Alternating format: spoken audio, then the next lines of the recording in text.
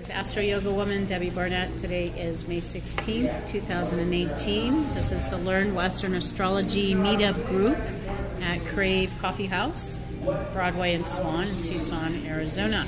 Topic this evening dun, dun, dun, Uranus into Taurus, which happened on the 15th, right at a new moon in Taurus. Got Mars squaring Uranus right now. So before I get into the topic at hand, I just kind of want to take everybody's pulse. I feel like crap. How's everybody else feel? like I don't know if I forgot to take my allergy medicine this morning, but I'm kind of like I feel like I got an itchy thing, my sinuses, I got low energy. And then a friend of mine who's an astrologer in LA was saying, My head feels really fuzzy and unclear. Is anybody Hmm. else? And I'm like, Yeah. Yeah, that was yesterday. Yesterday? Yeah, I almost took a sick day. Yeah. Yeah? I felt really like that yesterday too. So slow, couldn't even like barely move. Yeah. I was like out of control. Uh-huh. Yeah, that's Very right. lazy. Yesterday. Yeah. Not today Yesterday? though. No? Today's good though. Yeah, it's Yeah? yeah? better. Damn. How about you? It's been okay. Um, today we're in Gemini moon. Yes. I'm usually better in like wind, or not wind, but air and fire Uh-huh. It was a Pisces wind that got me last week that I still feel like I'm recovering from. No. that was just draining. Yeah, good. Yeah, so Uranus into Taurus. Uh, Uranus is one of the outer planets. It's it goes past Saturn, so it was the first planet discovered after Saturn. Prior to that, Saturn was the edge of the known universe. So Saturn was God. That was limitation, right? Well, then they discovered Uranus. It was 1781 and it like revolu- it was during times of revolution right? so it's whatever is happening at the time that a planet is discovered that's sort of the imprint of what that planet has so think of the french revolution the revolutionary war all those type of things and so it's an 84 year orbit around the sun and it's known as the rebel it's known as the um, awakener the disruptor. It's all about freedom and liberation and individualism. Yes. Hi, Astrid. Welcome. Come on in. This is Astrid. She's new to town. She just moved here from Orange County, right? Yes. wonderful. Welcome. Get on in. Let's all get let's get cozy, y'all. Get cozy. There we go. Uh, so wherever your what Uranus touches, it's like it's a, an awakening. It's as if a bolt of lightning goes off, like it's a dark, stormy night, and it's you know pitch black, and all of a sudden a big strike of lightning happens, and you can see the entire landscape. Like, god, I had no idea, right? So it's this illumination. Uh, it's the higher vibration of Mercury, so, for instance, right now, with Uranus at zero degrees Taurus, it's square my one degree Mercury in Leo. So it's like it's challenging my mind to step it up. like keep, like Kundalini Yoga, they say, keep up. You're doing this for 11 minutes. Keep up. oh, I keep doing that. Lose my glasses. Um, so it's um, things happen all of a sudden, right? It's, it's things have been status quo, and all of a sudden now they're different. So what did I put in my Facebook thing today? Something about my tagline for this transit, which will last seven to eight years, uh, is uh, say goodbye to the status quo. So that's sort of the theme of this of this talk tonight, of our discussion, and also the next eight years. Say goodbye to the status quo, because how things are right now in the world are not how it's going to be eight years from now. Taurus is an Earth sign; it's fixed Earth, uh, meaning it doesn't like to change. Leo is fixed fire, Aquarius fixed air, Scorpio fixed water. So fixed signs, they like stability, they like consistency, they like things to be status quo. They like the same. Right? Here comes Uranus, who gives zero, you know what's. it's tough. You're going to awaken whether you want to or not. So this transit means that we're bringing this awareness, this awakening, this higher mind, this um, innovation, this quest for freedom to things of a Taurian nature. Okay, So, what does Taurus rule? Venus is the ruler of Taurus, yeah. But as far as like keywords for Taurus, what would some properties or um, earth, those, like the um, like the earthly pleasures like food and like nourishing yourself. Yeah. So earthly pleasures, food, nourishing yourself. What else does Taurus rule? Money. Money. So say like banks, like Banks, Yeah. second house, Thi- right? Things where it's stored. Yeah, like Storing banks. money, reserves, financial reserves, currencies. It's the material realm. It's your material storehouse, as opposed to the eighth house, which is other people's money. This is your personal money, right? So your personal belongings, your personal comforts and pleasure, and um, financial reserves. And so here comes this planet that wants to disrupt everything in a, in a sign that, like steady as she goes, Taurus is very rhythmical, right? Think of the seasons, right? You plant crops at a certain time of year, and then the crops grow, and you harvest at a certain. Right? It's the season. It's rhythmical, day and night, seasonal, rhythmical. Right? And all of a sudden, here comes an earthquake, which look at Hawaii just before it, it changed signs, right? We've had all these Hawaii um, volcanoes and earthquakes, and we've been having, like, I was going to California, so I'm like watching the earthquakes. Last Had an time, earthquake when I was just there. Yeah, there were a San couple. Diego. Yeah. there always are. Yeah. Like, these were like 4.5, almost to be felt. But when Uranus changed signs the last time, eight years ago, like it was 29 degrees Pisces before it moved into Aries, and we had Fukushima. So, major earthquake, major tsunami. We're still feeling the fallout from that. So, that's Uranus. Hello. I know, right? so now it's in a fixed earth sign. That was cardinal fire. Now it's fixed earth. So we might see earth changes. right? More volcanoes, more earthquakes, tornadoes. You know, we're seeing things right now on yes, the we East are. Coast. Uh-huh. East Coast is under like tsunami. New Jersey was under a tsunami warning yesterday. Currency Yes. could be shifting. Yes, currency. So Taurus rules the financial markets, the bull market, right? Taurus the bull, bull market, bear market. So we're seeing the rise of cryptocurrencies, and it's a possibility that our banking system will not be the same. That we will not do, we will not have cash, or we will not have credit. It may be all cryptocurrency in eight years. You know, it may be all some kind of cyber or something or another. That there's not any real like it. We're already the- starting to use the chip in the, the skin. phones. Yeah, your phone. They get you so tied into technology, right? Um, but Kim mentioned food. So Taurus rules food, right? And agriculture and food production. So you're going to see changes in that sort of thing. In food production. Also, Uranus is about the people, right? It's the ruler of Aquarius. So Aquarius is the humanitarian, right? It's all about we the people. And so in Aries, it's all about me, me, me, me, me. Now it's in Taurus, it's like, how are we going to feed all these people in a sustainable way? Let's use our brilliant mind, because Uranus is brilliance, you know, it's the genius. You know, it's like Einstein with its hair. It's too much electricity, right? Where's electricity? So it's like all these ideas. How are we going to use all these ideas to feed people and to produce food? And maybe it's using um, electricity in a different way, like on the domestic front. Also, real estate. Quite likely see a, a crash of the real estate market in the next eight years. especially in places where it's overvalued, like California. Mm-hmm. Uh-huh. And the Northwest area. Yeah, Pacific Northwest. Yeah. Yeah, Seattle and Portland. Uh, they're really seeing Yeah, big spikes. Boulder, too, Denver.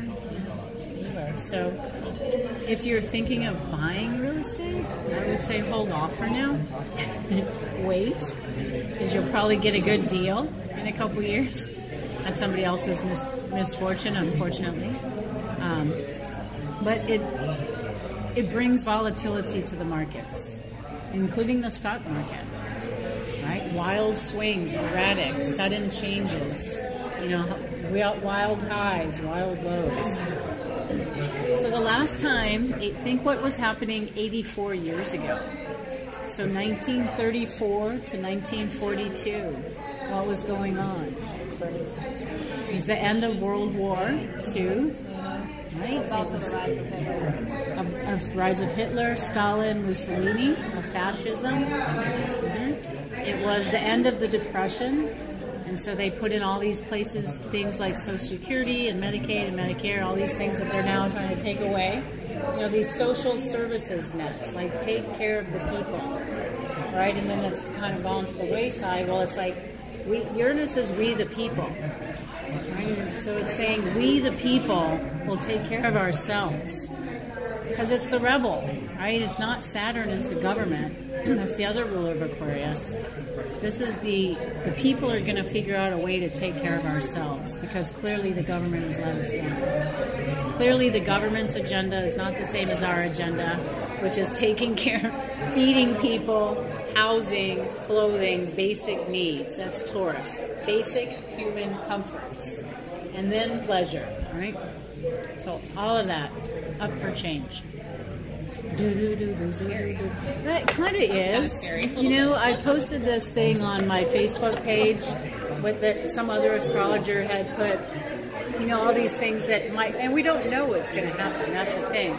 We can look back and go, well, this is what happened 84 years ago, and this is what happened on the time before that. So you kind of get an idea, and yet you know, I believe it's up to us as the light bearers to keep our drishti, to keep our focal point. And it's like, yeah, the he- world is going to hell in a handbasket, and I've got a job to do.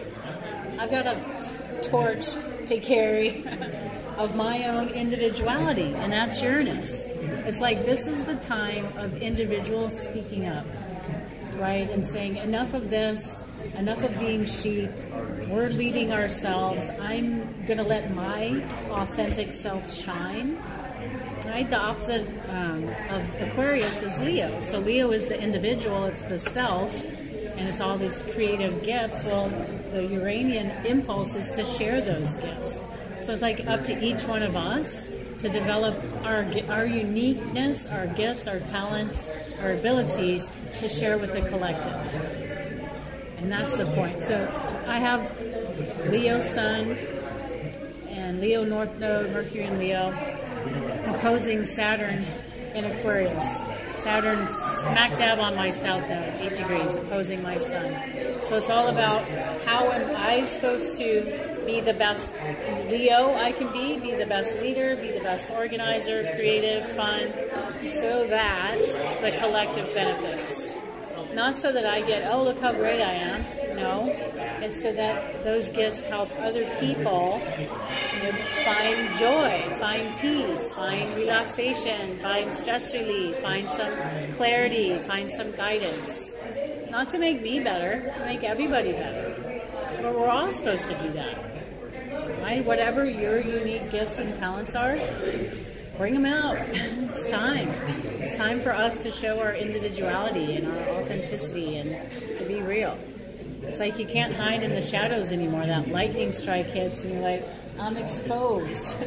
there I am for everybody to see, you know? Broad daylight in the middle of the night. May I ask what your midheaven is? Because I only see this like career too. Depends on which house system. If you go by equal house, it's Aries. If you go by Placidus, it's Pisces. Okay. Which one do you Pisces. Pisces? Because I I was gonna say that. Was I'm new to the whole equal house system just the past like, year or so. too. And So I feel more like Pisces is my career path than Aries because I'm a spiritual teacher and I'm a yoga teacher and astrologer. Yeah. The elder. Yeah, right. Yeah. Okay. More the wise old soul than the brash pioneer. Not that I can't do that, but I feel better as a Pisces type career than an Aries. So it would change if you do equal houses. It can. It can. Regular. Placidus. I call it platypus. Like, platypus house. Placidus, yeah.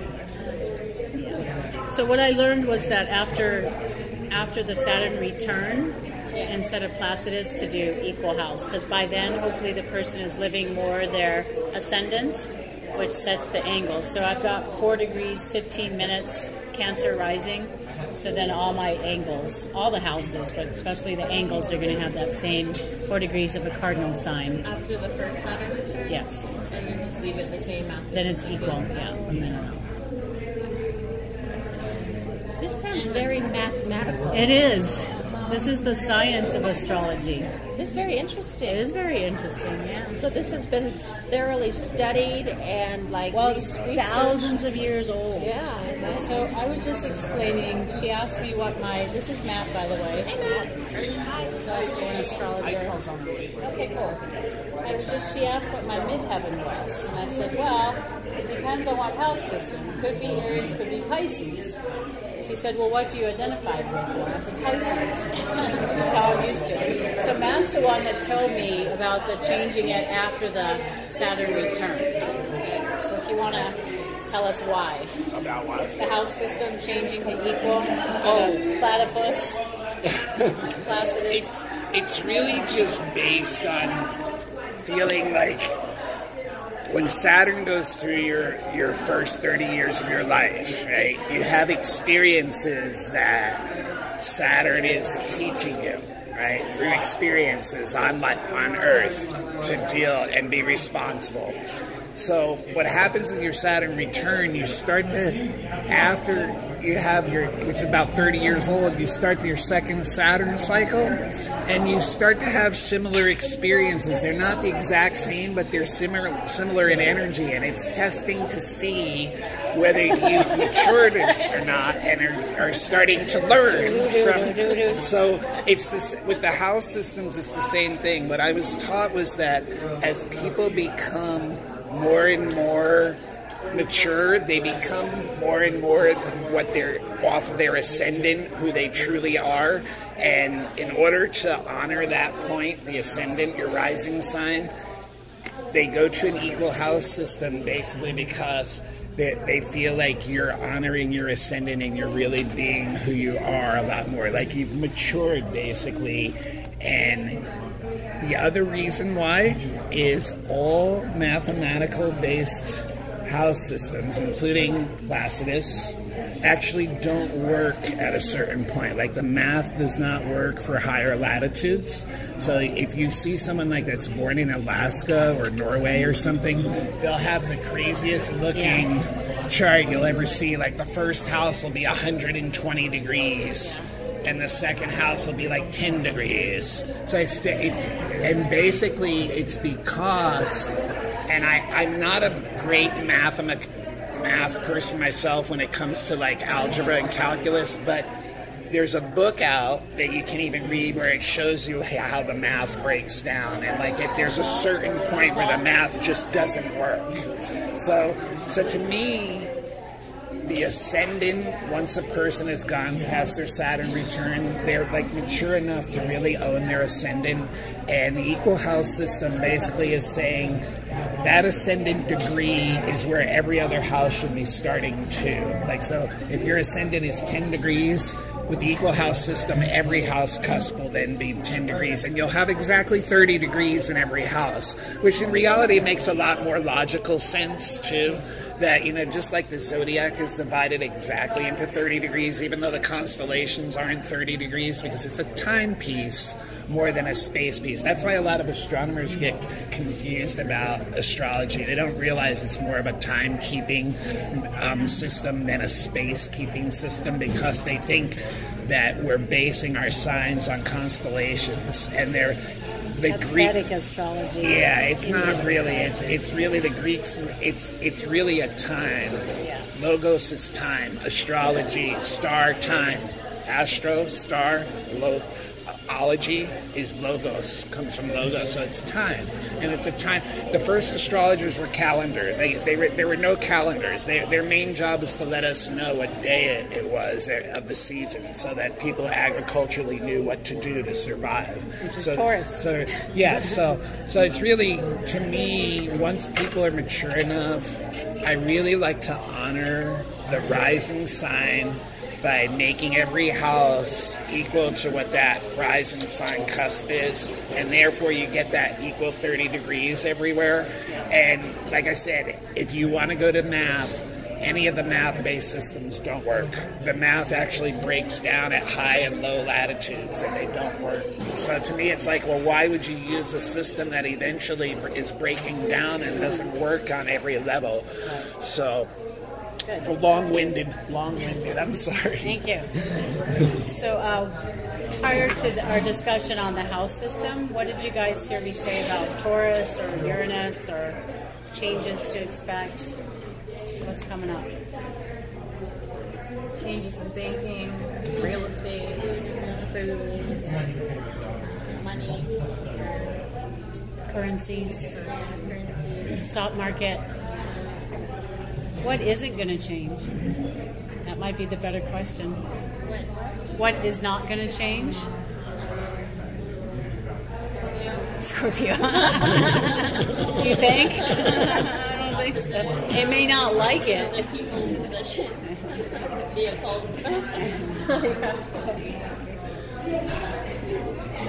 So I'll tell you what's not going to change. People's desire to know what the hell's going on. right? My astrology business has picked up. Matt's astrology business has picked up. It's like everybody's feeling this like craziness. And so they're like, what's happening? Somebody give me some clarity, some guidance. Right? Even this today, I teach yoga to um, elementary school teachers. And so I ask them, you know, how, what, how's the day? What do you want? How are you doing? And this one, she teaches kindergarten.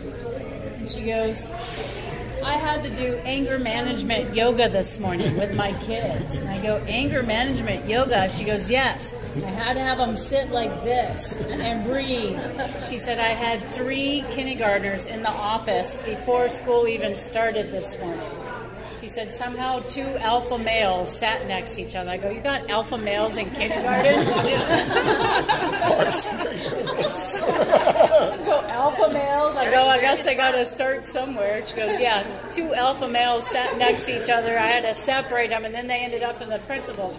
I go, well, I have to say, Mars is square Uranus right now at zero degrees of fixed signs. So it's stubborn, and they're digging their heels in, and there's lots of ego involved, and there's lots of I'm right. And she goes, that is it in a nutshell. So kindergartners, they don't know what's going on. You know, they're not Mars is square Uranus. I think I'll act out today. so this stuff affects us whether we realize it or not. And it's what we do with it, yeah? So who has their charts, and if not, it's okay. Um, but if you have your chart, let's see where you have Taurus. So I posted, I don't know if you saw that post. I don't even remember where I posted it. Of some other astrologer's thing, right? And I said, wherever you have Uranus transiting through your 10th house is where you'll feel this possible disruption. I never say it's going to be one way or not because I don't know. I don't know jack anything, you know. As far as I know, we're all making this up, Heidi. You know. Well, it Although it does pretty- seem pretty mathematical, doesn't Yeah, it seems pretty convincing to me. But anyway, people got on this gig of where they have Uranus in their natal chart. I'm like, that's not what I'm talking about. They're like, I don't have zero Taurus in my chart. I'm like, yes, you do. So it's like, is there somewhere, may not have any planets, but you have zero Taurus in your chart. It's the outer ring. So it became this whole lesson on how to read a chart, which, you know, it was disruptive. Oops. It was out of the, uh, out of the norm. Um, so So we're looking for zero degree Taurus. Yes. Zero Is it in the degree fifth or sixth then? Zero degree Taurus. So that's six degrees on the cusp. So zero would be. You guys know what a Taurus looks like? It looks like the bull. sign. a circle with horns. So it's in your fifth house. That's what I thought. Okay, It's that's what I moving. looked It'll at. be moving into your sixth pretty soon.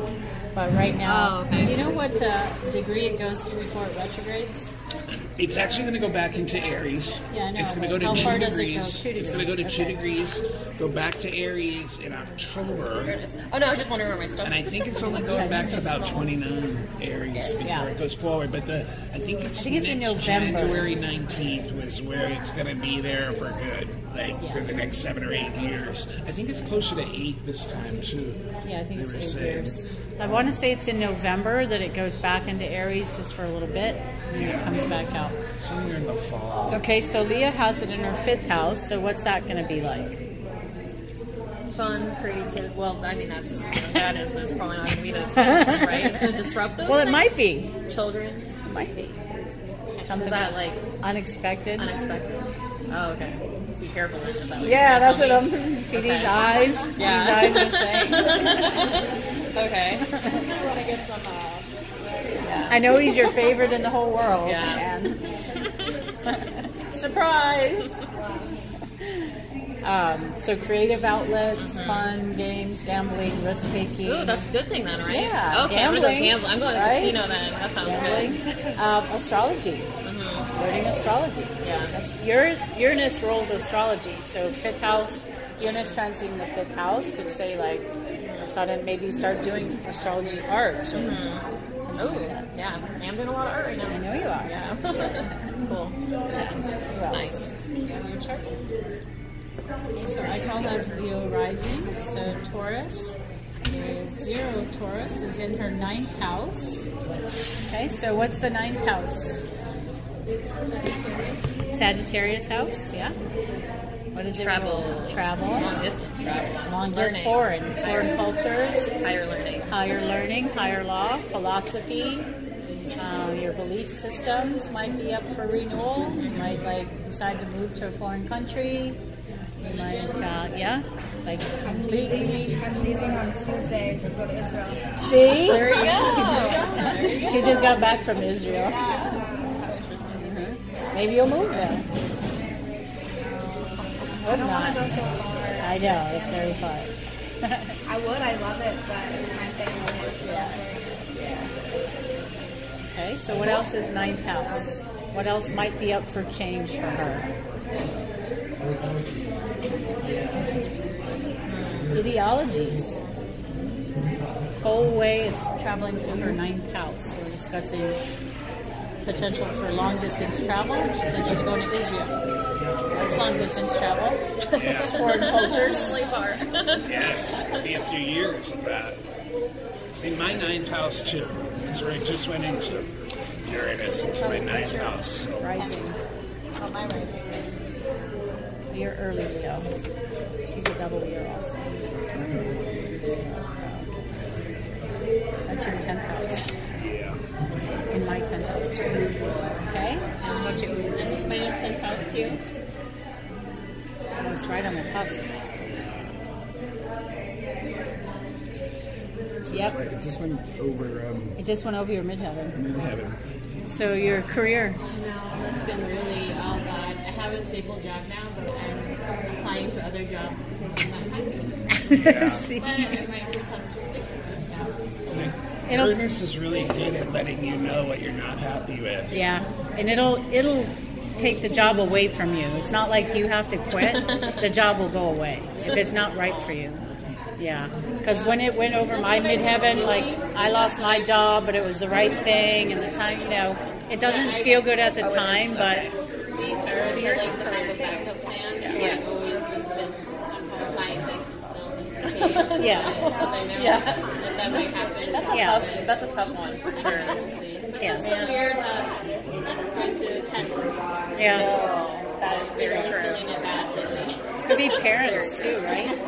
It could be a parent that you have to deal with. That's a possibility. Jupiter. Oh, Huh? Oh, like Tenth house is your parent, house of the parent. One of your parents, yeah, the one who usually has conditional love for you. It's usually the dad.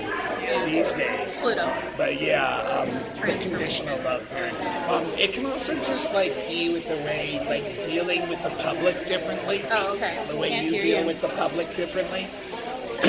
See, what I would say about. Uranus is like it wants to bring creative change into our lives, and if we resist that, it that's when it whacks us over the head with something that we really is upsetting. You know, it can be a quick jolt, but if you allow the creative change to come in, and it can feel awkward and ungrounding and nerve scattering, it will bring you like to like these new insightful experiences with other people and situations and it's really exciting. it will really like open up new vistas for you. But it really it, it'll open up new vistas for you. But it really like if you're resisting something that is like a staleness in your life that you kind of know that you need to change like you're, if you don't do it uranus will do it for you That's why I say you don't have to quit. Uranus will pull the rug out. If it's not right for you, if the job's right for you, it won't happen. But if it's like, hey, you you need to be doing something else and you're not moving, so here, I'll do it for you. Oh, your position has just been eliminated.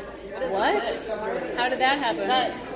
Uranus. See, I'd rather that way instead of haven't really seen a firmly symbol taking over. Right. Yeah, It's usually how it Indecisive. Yeah. That's right. Yeah. Do you have your chart, Astrid?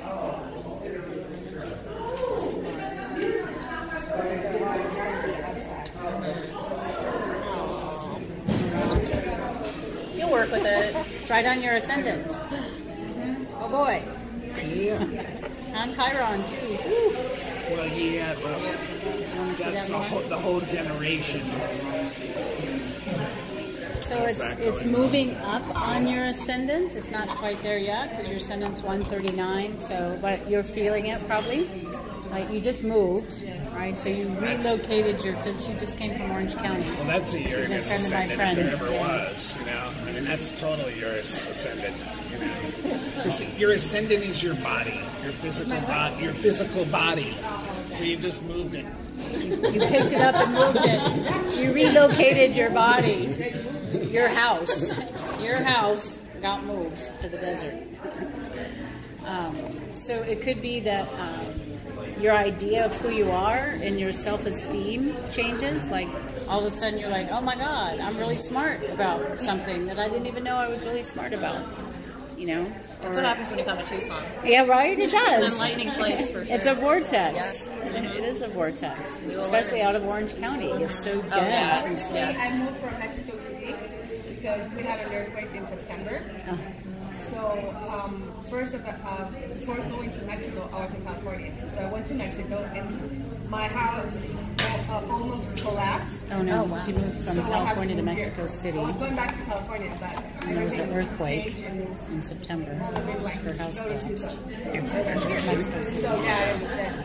And I have a question. See, earthquake is Uranus too. My, my body changed a year ago, and you know, like half of a year ago, it changed. Yes, that's Uranus. Yeah. This is not my body. How old are you? 40. Okay, so it could be perimenopause. Maybe. When your hormones change, your body changes. Mine has expanded and grown, and, Yeah. and it still is. So, Yeah. Does but it yeah. feel like electrical at all or heated? after oh, uh huh. Uh, Yeah. Well, it was a shock to your Yeah, system. I'm on that. Yeah, I'm. You know, PTSD and Yes, I'm trauma. working. Uh huh. Yeah. Cool. yeah, Uranus rules uh, natural disasters. So, you know, be experiencing a natural disaster while it's going over your ascendant, that's your body, and Uranus is natural, it rules natural disasters. Like I, this thing with the volcano going on in Hawaii, that's so Uranus and Taurus, because it's the Earth. Taurus. Fixed Earth. And it's this natural disaster occurring, you know, that no one can stop, and it's upsetting a lot of people. You know, their lives are being like totally tortured. I mean, that, but they built on the side of a volcano too. You know, it's kind of like Like, duh. you know, it's probably gonna one day it'll blow. You know, it's like, but it, Like Mexico City, you're on top of lakes. Yes, yes. I remember when I was in the Bay Area when the big earthquake hit in 1989 and it collapsed the freeway and the bridge and all that. The worst part was San Francisco where they built on the bay where they had filled in. Yes. Because the It's waves, yeah, the waves accelerate in fill instead of like calming. The they actually accelerate the seismic waves somehow because on in fill. Hmm. So that's probably in Mexico City. They're all on that lake. That's why. Today we had, we had an earthquake. Oh wow. Yeah, so it, it's nonstop. Yeah. Yeah, I think there's going to be a lot of like probably earthquake and volcano activity from Uranus going into Taurus.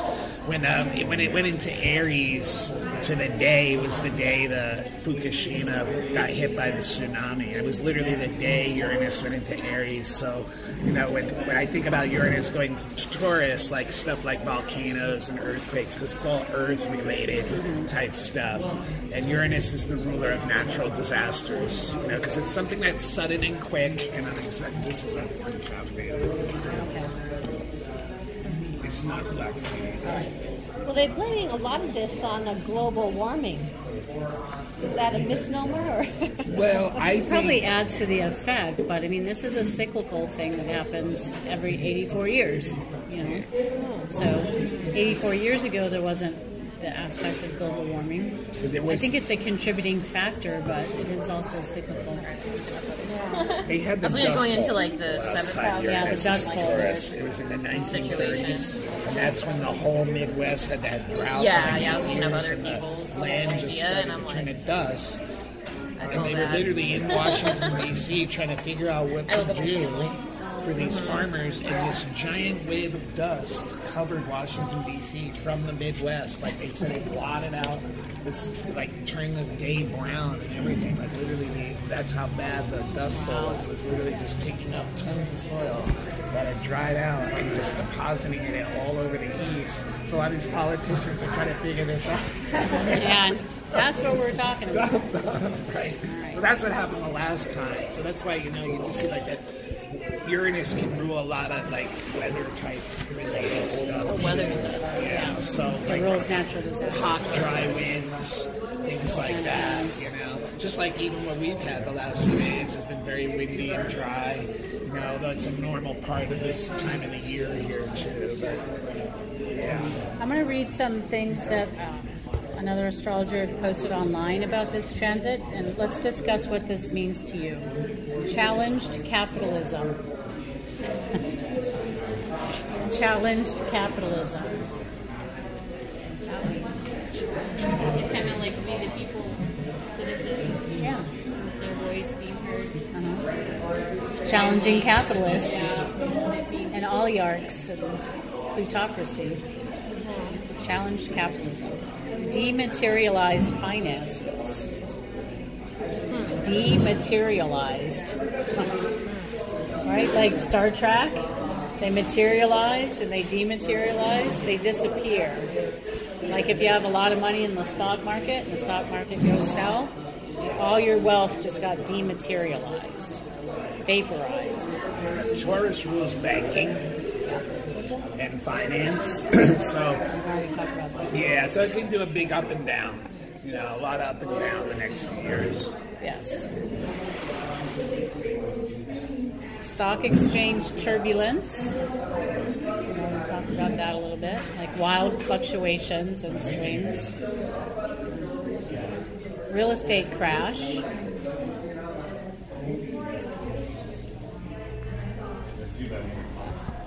Dismantling of property. Here's something we didn't talk about much. Um, the way we live, I feel, is going to change. Like everybody in their separate little house and separate little apartment living separately, I think that's going to change. And I think we're going to live more communally and more like in villages or centers. Um, especially if we do have problems with the electricity going out, which it might. you know, if there's a natural disaster and takes down the electrical grid, we're screwed. And we better live communally to get along, you know. Somebody's going to know how to grow food, somebody's going to know how to purify water, so we got to collectively come together. Um, and with sort of the fall of the capitalistic agenda, I'm starting to see a lot more empty malls and a lot more stores, you know, retail stores closing up. And so I can see like turning all these empty malls into some kind of living community school center, right? Like a little village in a mall, like where they build out different places like dormitories or whatever, or living quarters, and then there's already like community centers in the mall, like the little food courts and whatnot. But reusing things that are left to waste, like reinventing how to use those for housing, so that everybody can have a house, can have shelter, can have enough to go around. Smart farming. What is that? Probably um, conserving natural resources. conserving natural resources. Okay. Well, look at um, back to growing marijuana, uh, hydroponics. Like now that more and more people grow marijuana, and the hydroponic industry has really come up. And like I have friends that have these tower gardens. Have you seen those? Do you plug them in and they've got water? And like all these vegetables growing out of this tower with just water. There's no dirt. So like smart food, like growing food in a different way to meet the demand of 8 billion people. More nature-based events, tornadoes, postmodern food. What is that? Postmodern food. Huh? Sounds bad. I know it does, doesn't it? It sounds like don't want anything. like space food or camping food or prepackaged something with postmodern food. I don't know what that like pellets, Yeah, like dehydrated pellets that you have to reconstitute or Sounds like that guy who tried to invent the one food that he'd eat all the time. That was the only thing he ate was some mushy stuff. It's like, yeah, I don't have time for food anymore. My life's too busy. So he Just came eat up that with one this, thing. You know, this perfect nutritional gruel, apparently. Ugh. But it was horrible. People were like, how could you No way. I mean, the food's already pretty toxic to begin Yeah, with. right. and Taurus is about pleasure. You know, Taurus wants to enjoy its food. I can't imagine how, how it can get any worse. And I talked about domestic application of electricity. That's why I think one of the things Uranus and Taurus is doing too is it's asking us, what do we really value?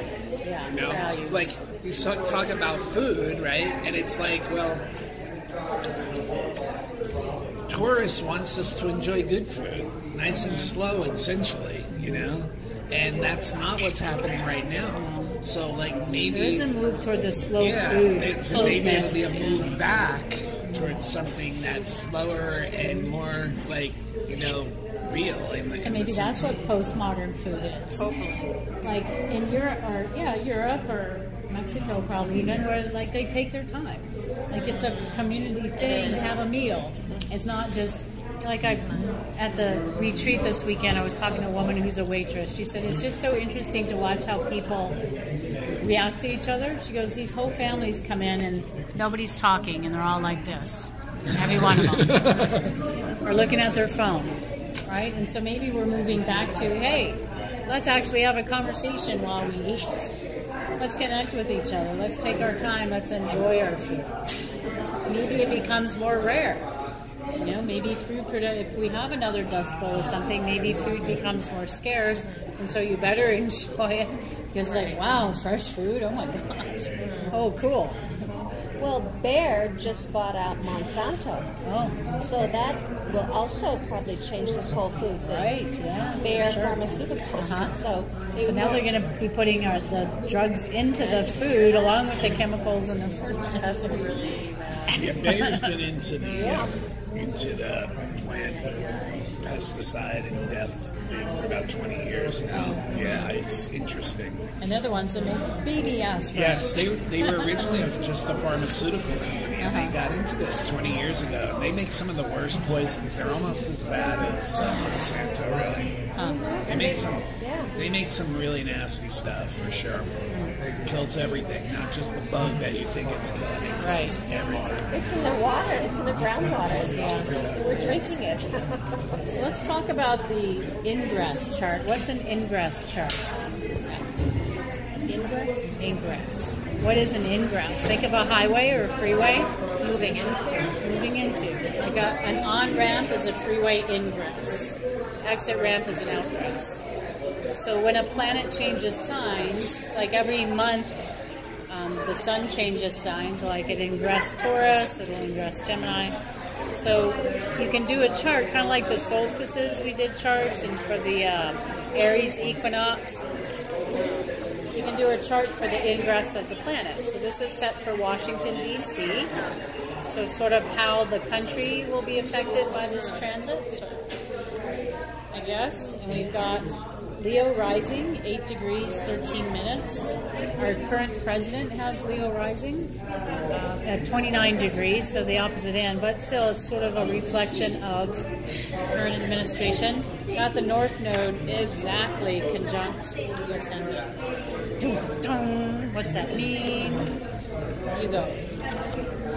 When I look at this chart, when I see the, the nodal axis, which is this guy North and this node, guy, north node. node and south node, when it's right on the ascendant and descendant, when something's on the ascendant and descendant or the midheaven or IC, it's really plugged into the physical world. Like it's like something that's very like something in the physical world is going to happen, right? And this is like the United States, Washington D.C.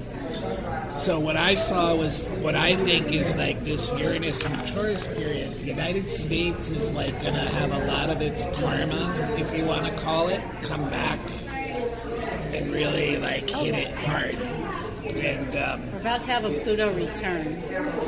yeah, so I think um, a lot of it may have to do with Donald Trump because the tenth house is the president, the, the ruler in a in a mundane chart from Washington D.C., and that's where the sun and moon is, and the sun is also him.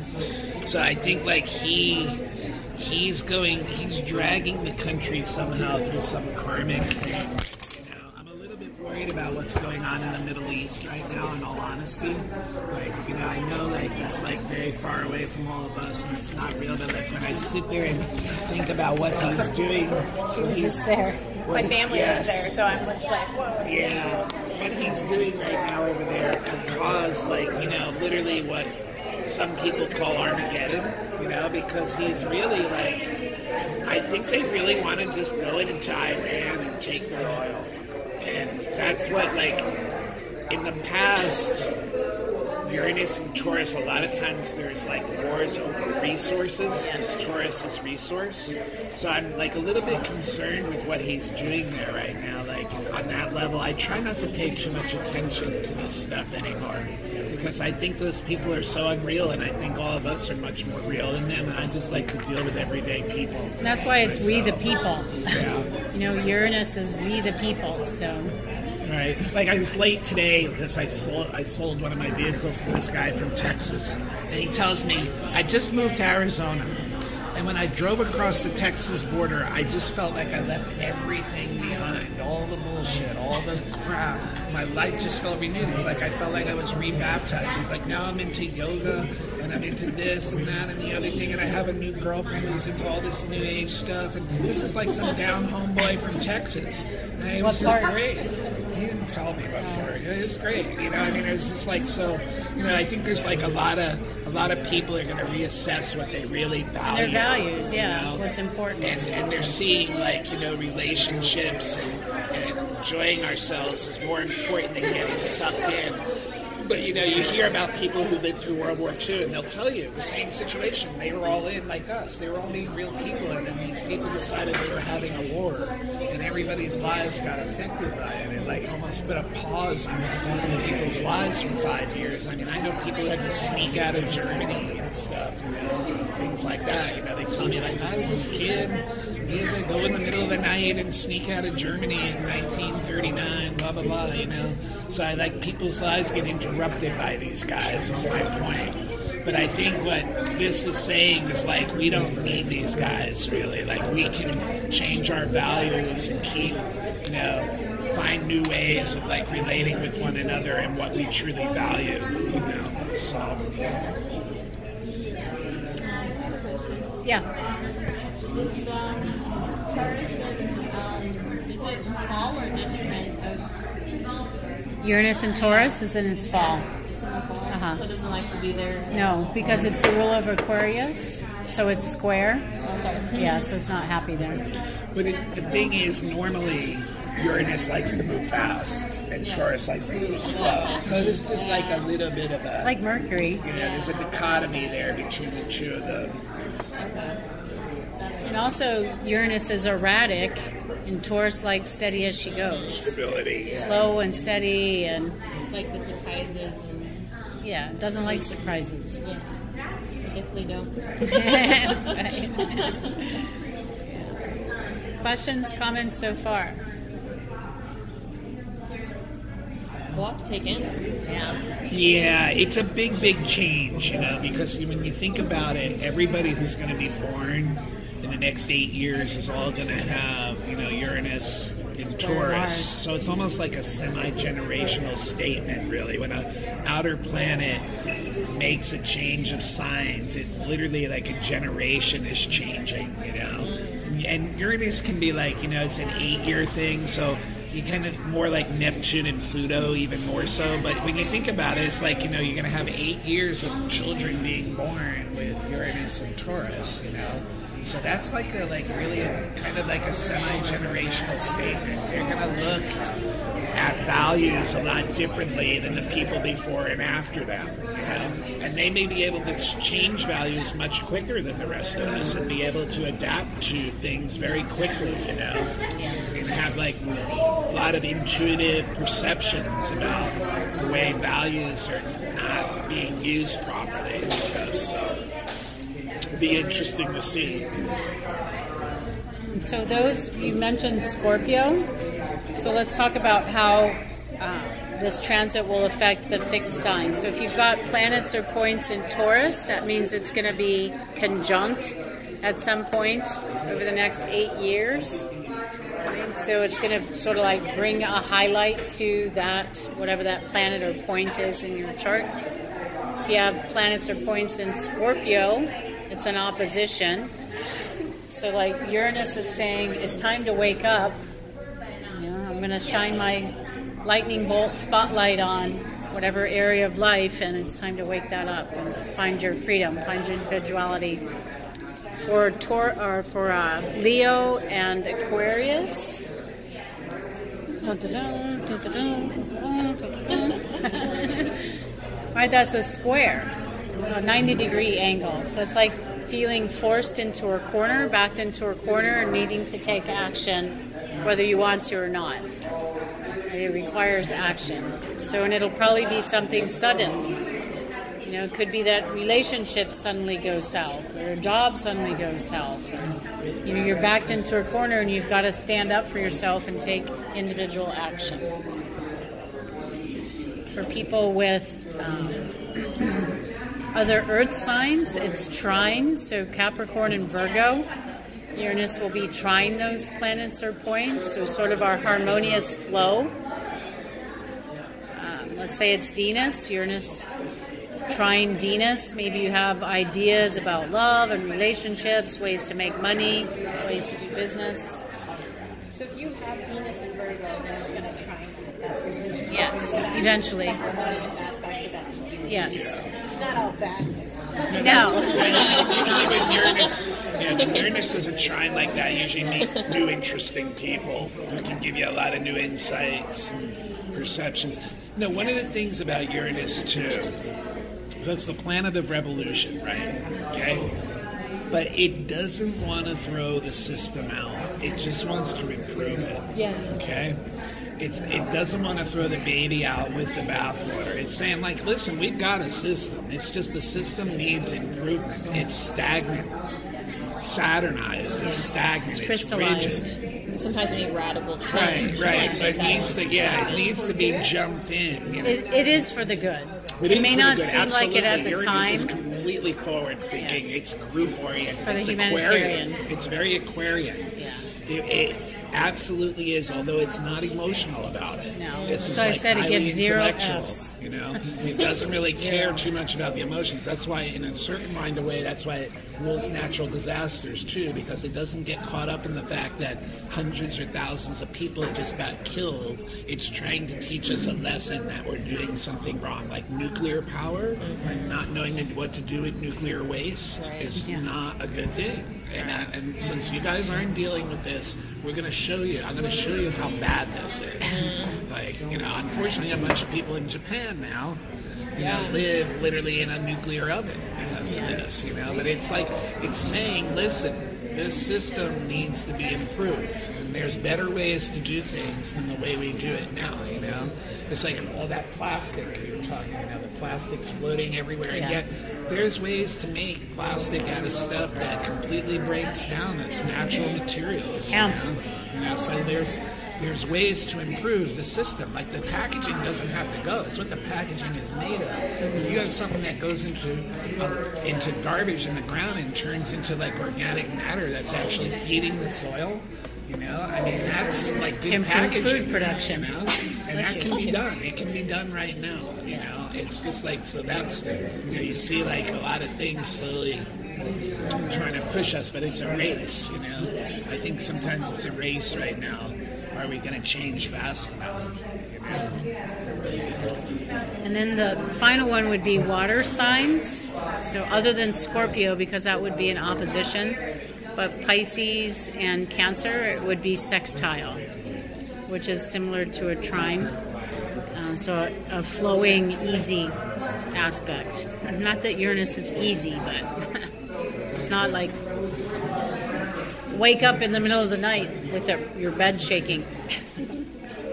What's nice about sextiles, uh, they bring you an opportunity. I mean, Uranus is sextiling something, you should take the opportunity. It might be some surprising thing, you should take that opportunity because it's going to be a lot easier than you actually think it might be. But you, with a sextile, you like the opportunity is there, and a lot of people don't take them. You know, so like it's something like you know, it's not going to force itself on you. You know, it's like okay, you know, if you like ask for something like you know, like you're doing a spell or something, and you can't dictate what the gift is going to be, but when the gift comes, you better take it. you know, and that's what you, you know, Uranus when it's sextiling something, it will bring you some kind of like at, off the wall opportunity may come, and it's a really good idea to take it. You So, for example, this chart here says right now Uranus is sextile my moon. So, and my moon is in Cancer. How long does that last?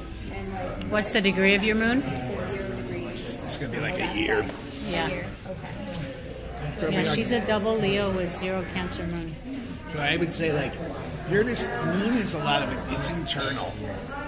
You know, a lot of moon stuff's internal. Yeah. So, so maybe like just like getting like new perceptions on how your emotional being works, and maybe seeing opportunities to change parts of that that you don't think are operating as well as you'd like to. You know, it's like once again, don't throw out your whole system, but maybe there's a better way to react, you know, or something, you know.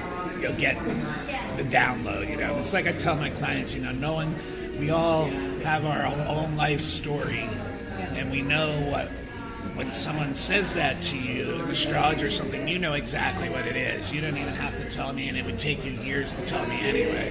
But, but the thing is, it's like, okay, you know, I I, like I'd say to someone, oh, you might be thinking about, you know, things changing the way that you actually think, and they'll be like, yeah, you know, that's actually.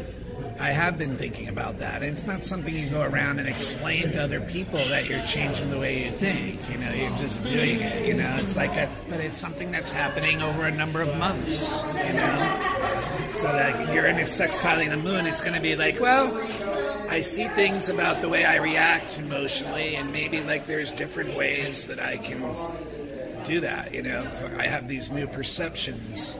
Maybe there's new ways of me reacting to my emotional, ways of reacting. Insecurity too, even the way we look at security, moon. So here's some suggestions for how to weather this storm, if you will, for the next eight years. Uh, put your hands in the dirt. That was a good. Electrical storm. Whatever house Uranus is transiting is where your electrical storm is going to be happening. So do Taurus type things like ground. You know, put your feet in the dirt or in the grass. Not a lot of grass in Tucson, but you know, there's a lot of dirt. Put your feet in the ground, lay on the ground. I was camping in Joshua Tree for four days, sleeping on the ground while all this stuff was happening, and boy, did that make a difference. Holy cow. Just the whole slower pace of not being, you know, in the rat race. Um, so stay, get out in nature as much as you can. Create routines, rhythms. Like our body appreciates consistency, routines. Um, also, it helps to alleviate what's called vata, which is air. You know, vata, pitta, kapha. These are Ayurvedic gunas. So, air, fire, earth. So when things feel out of sorts, it's very like vata. So we feel confused. We get insomnia and constipation and um, dry, cracking bones, and it's just very discombobulating. So the more you can be close to the ground, have regular routines, get plenty of exercise. Right? Taurus calcium is kind of a kapha type sign. It's sort of slow and not in any hurry. So they would be one that would need a more of a, a power yoga or hot yoga, as opposed to somebody who's a pitta, who's very like energetic. who's more likely to take a faster yoga class. They need the slower class. The slower people need the faster class. Oh, Pratipaksha Bhavana, do the opposite. Um, so find find ways of exercising that fit for you, whether it's walking or hiking or yoga or swimming or whatever it is. Um, create some kind of routine, some kind of stability, so that you can feel grounded right? Because things, it's almost like, you know, if the earth is shaking, you want to be low to the ground. You don't want to be at the top of the tower. you want to be close to the ground. There's a pose that a friend of mine, Victor Shamas, um, recommends. He's a PhD. He was a professor at U of A for many years. He just wrote a book called Deep Creativity. And it's called Repose. And it looks like Shavasana, except your arms are out wide and your legs are out wide. So kind of like the Michelangelo man, you know, in the circle. I don't know that guy's name. Um, but he says do that for seven minutes, three times a day, morning, noon, and night. Repose. You know, you don't have to clear your mind. Like set your clock or whatever, set your phone. It's actually been scientifically Yes, yes, it is scientifically proven. And it's a reset. It's like you're making yourself open and vulnerable, but you're also on the earth, probably, or a bed or something. But just allow, it allows your nervous system to reset. So Uranus is electricity, and it's exciting, like Matt said. And when I was in California last week, that's my Uranus line. Uranus changing signs, full moon in Taurus. It was like, it was very like, ugh. And so I needed that time in the desert for my nervous system to reset. So if you feel your nerves getting frazzled, if you feel yourself like it's too much, it's too much, get on the earth. Do some gardening. Put your hands in dirt. Grow something. Tend to food. Do some cooking. Do something grounding. Eat like heavier root kind of vegetables rather than light salads or whatever, because it's more grounding. So find your rhythm, find your routine. Um, what did I say my key phrase was for this transit? Who remembers?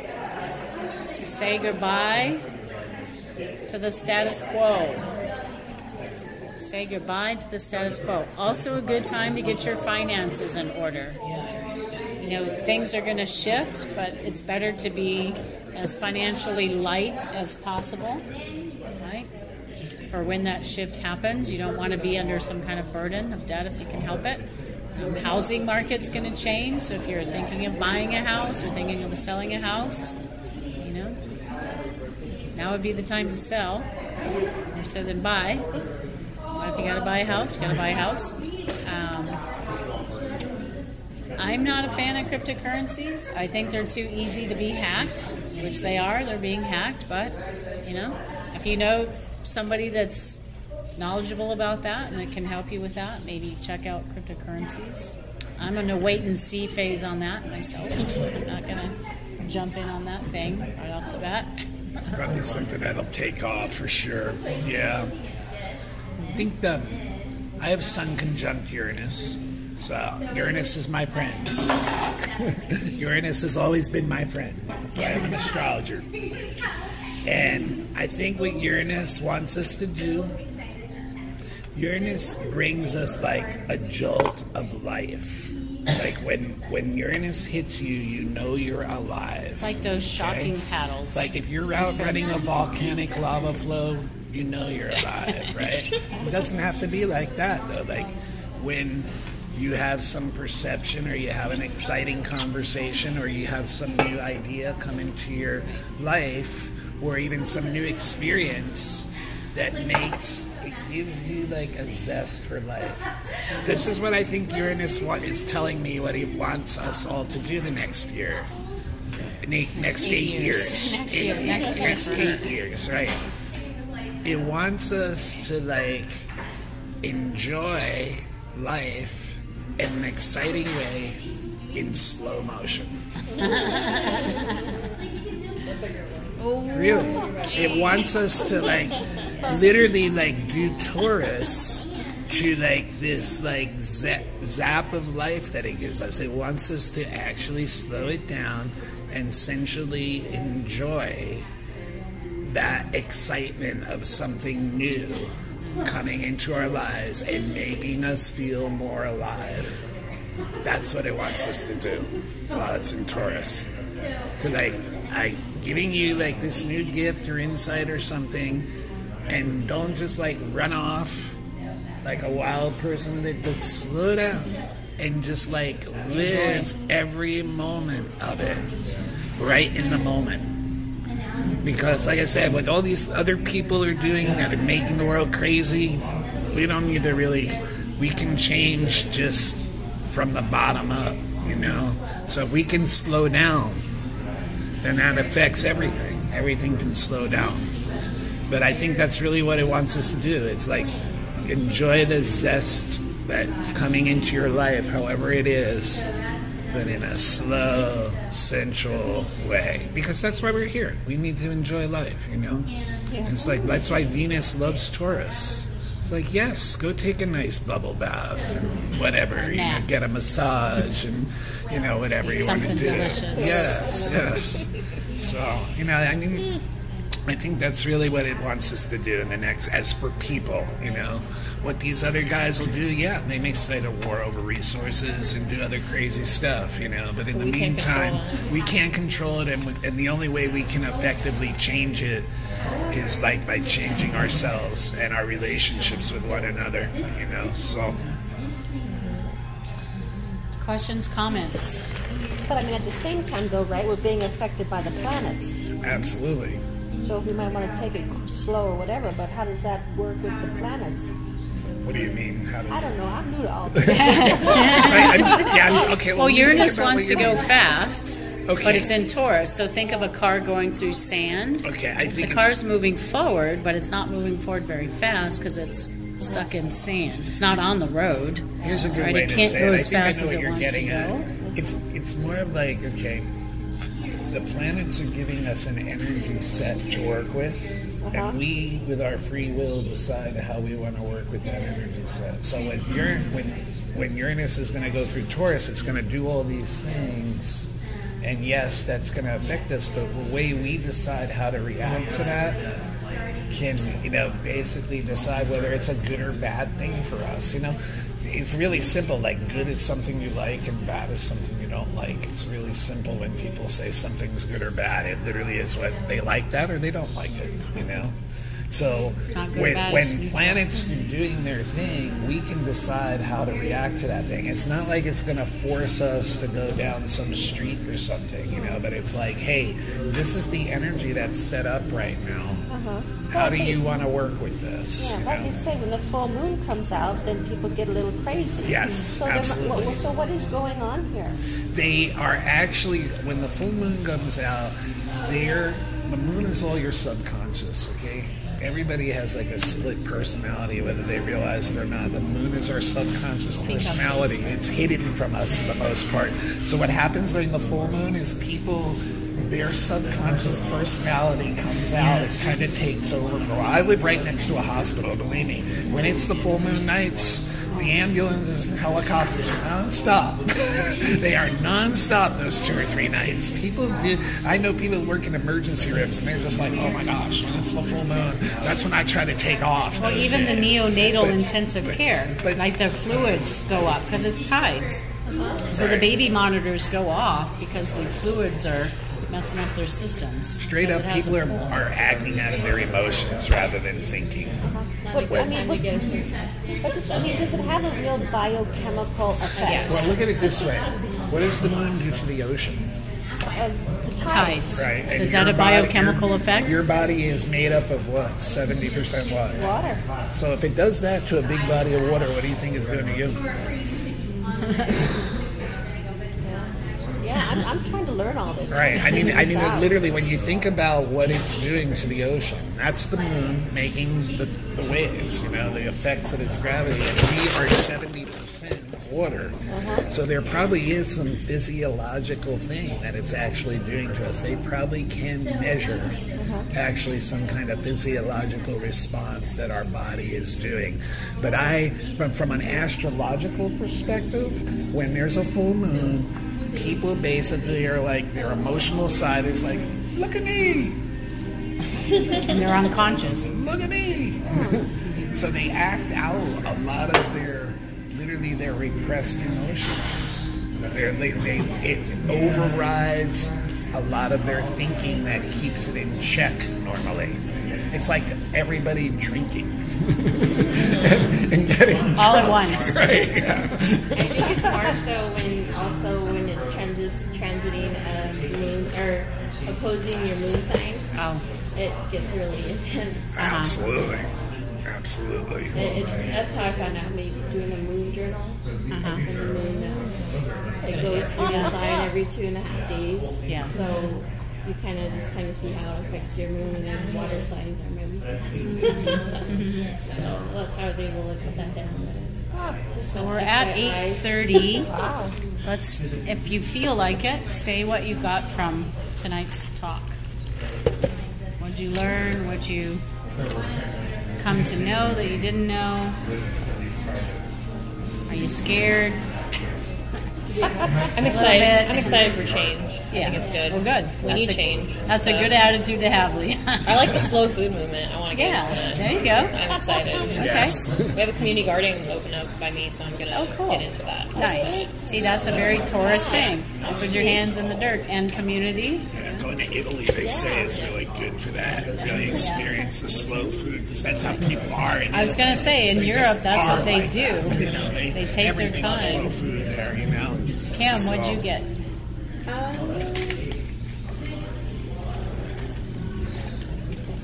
um, yeah, the, the finances thing, I think, um, Uh-huh. for me, because that's something that I've been trying to deal with for a while. So, like, and I bought a house at the height of the market back in 2005. The market crashed. They sold it. That's a huge part of what I'm still dealing with. So, talking about this financial, I was in, I'm like, fuck this again. Mm. Like seriously, pardon my language. Right. No, I mean, But like that's where I'm at. I'm just like really, you yeah, know. it's a game these guys play. It They did it with the tech stocks before, and you can just go back every 10 years, and they did it with some other industry, but they did with real estate in 2008. And who knows what it'll be this next time around, you know? Yes. But they, they seem to like really like to take, you know, they're good at like driving the market up, selling out, then they let it crash and they buy at the bottom and they have all the time in the world to wait till it goes up again while all the rest of us are like, we don't have the time to wait for this. You know, we need to eat tonight. You know? it's like, what'd you get? Well, for me, um, don't run. no run.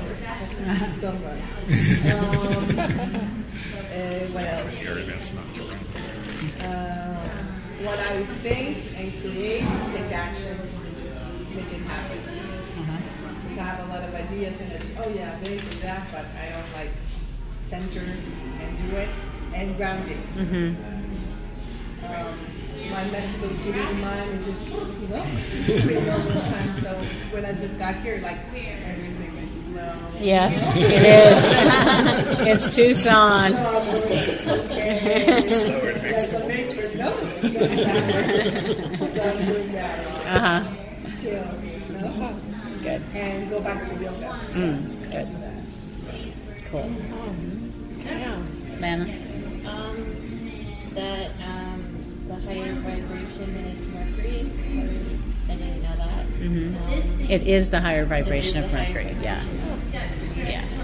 Yeah. Just the equal houses off of the Saturn return thing. That was really good insight. Uh huh. and just to know that we're in your, um, we're, we're I guess we're transiting my chart Mm-hmm. helps me a lot too. because, Um, what did I write?